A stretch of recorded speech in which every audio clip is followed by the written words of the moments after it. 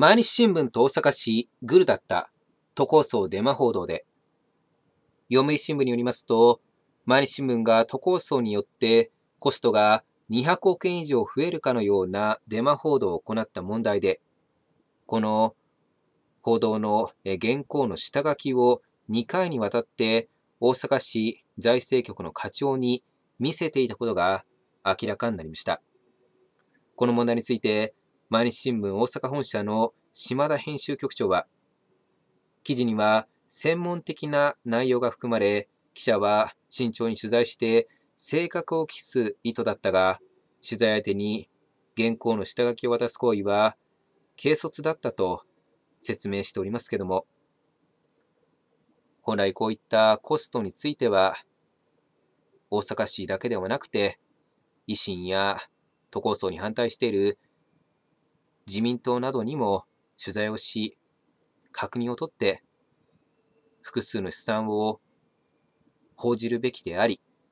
そもそも都構想の住民投票はほとんど選挙と変わりませんので、そういった住民投票に影響を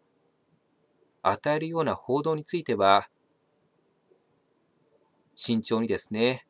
行わなければならず、本来は通常の選挙と同じように、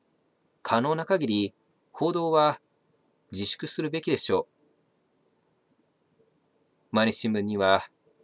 というか毎日新聞だけではなく、日本のすべてのマスコミの皆様には、今後は住民投票についても、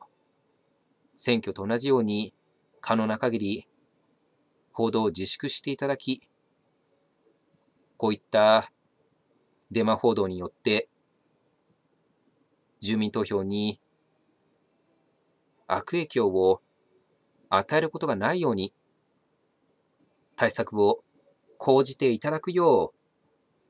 お願いいたします。